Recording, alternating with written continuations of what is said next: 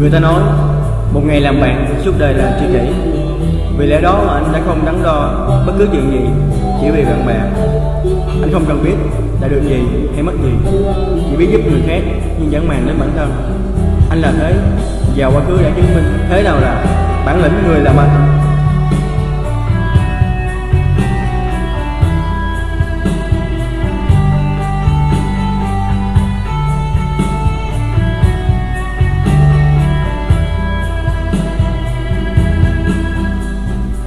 Đang bình yên sông tố bất ngờ kéo qua.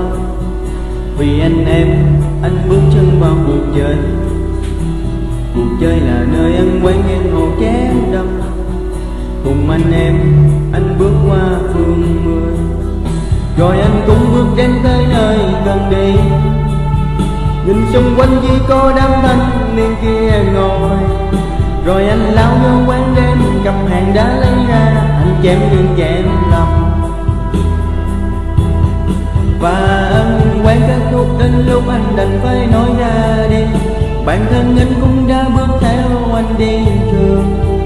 Ngày hôm đó sóng gió đã nổi lên và đã cuốn sâu anh.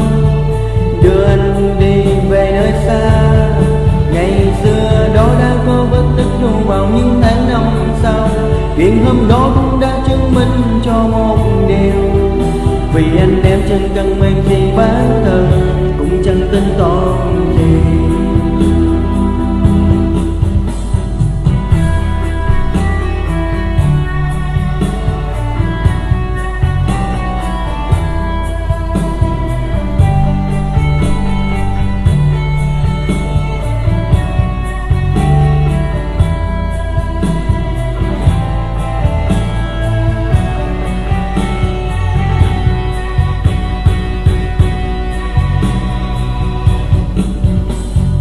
đang bình ly trong đó bất ngờ kéo qua.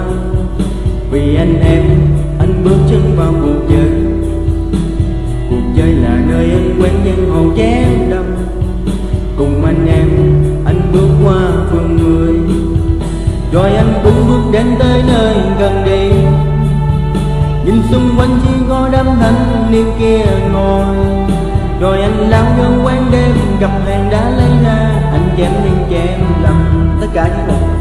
Cuối cùng. Và anh quen kết thúc đến lúc anh đành phải nói ra đi. Bản thân anh cũng đã bước theo anh đi trường. Ngày hôm đó sóng gió đã nói lên và đã cuốn xô anh. Đưa anh đi về nơi xa. Ngày xưa đó đã có vết tích lưu vào những tháng năm sau. Chuyện hôm đó cũng đã chứng minh cho một điều. Vì anh em chẳng cần mang tiền bán thân cũng chẳng tính toán gì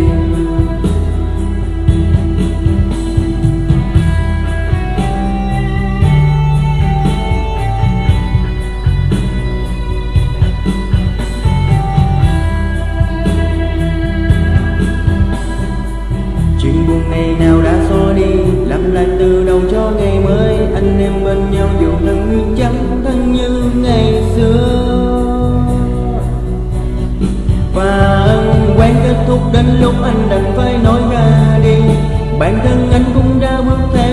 anh đi trường ngày hôm đó sóng gió đã nổi lên và đã phủ xô anh đưa anh đi về nơi xa. Ngày xưa đó đã có vết tích lưu vào những tháng năm sau. Chuyện hôm đó cũng đã chứng minh cho một điều. Vì anh em chẳng cần mình gì bản thân cũng chẳng tính toán gì vì anh em nên anh bà mới បានអំសោតែ